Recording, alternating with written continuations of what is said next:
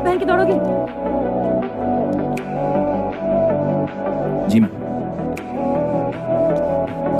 On your marks